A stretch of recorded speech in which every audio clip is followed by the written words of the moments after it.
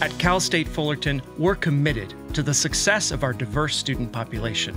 As part of that commitment, the Faculty Student Success Dashboard was developed to empower faculty to proactively engage with their students in ways that promote student success across a variety of indicators.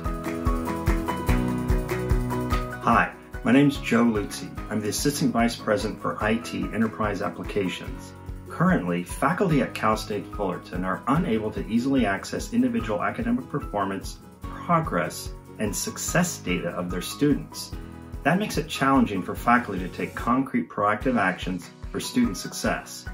To remedy this challenge, in multiple collaboration with campus partners, the Division of Information Technology created the Faculty Student Success Dashboard, which is the first in its kind in the CSU system.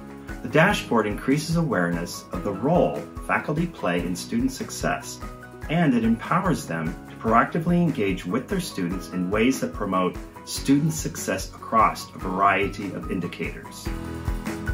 There is a wealth of information available through the dashboard, including information on underrepresentation, on gender, ethnicity, financial needs, parents, education, etc.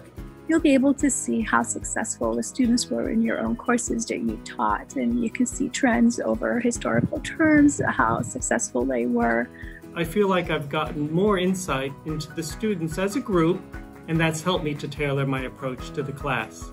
Having all this information will not only make our jobs so much easier, but I know that it's going to allow me to serve my students in a way that is so much more thoughtful.